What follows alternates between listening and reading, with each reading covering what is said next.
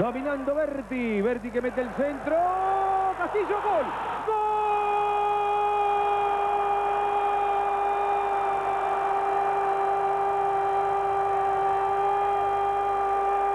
¡Gol de River!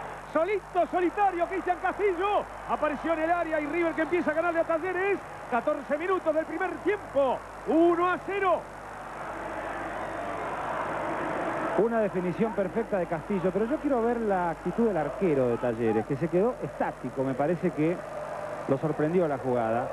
Parte el pase para Castillo, no cierra Silvio Suárez, el toque, el arquero se queda inmóvil, no esperaba que la pelota fuera tan bien conectada por el delantero de River, que con la derecha la pone junto al palo derecho precisamente de Giancaglini.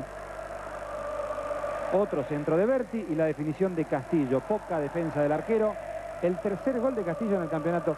Ya tiene 22 goles en 66 partidos. Exactamente un gol cada tres partidos. Castillo en primera. Esta vez no se sacó la camiseta. No. Se dejó con una pelota. ¿Que tiene algún pariente embarazado o no? Así parece, no sé. Con lo justo ahora el paraguayo Suárez, el taco de Suárez. No lo hizo en una buena ocasión. Va Álvarez recuperando, la pone para Ángel, la pone para Ángel, el gol de Ángel, Ángel, Ángel. ¡Balón que Castillo, gol! ¡Gol!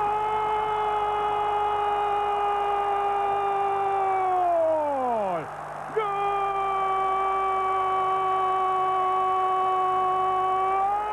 de River! Parece tu noche, Cristian, no. Está ganando River. 2 a 0 a Talleres. Después del palo, la sopló, la empujó. Este señor, Cristian Castillo. Y no le pegó bien Castillo. Se encontró con la pelota en el poste. Miren cuántos de Talleres había. Cuatro. El toque de Ángel. El palo. La pelota le queda a Castillo entre tres defensores. Y casi pidiendo permiso se mete en el arco de Talleres.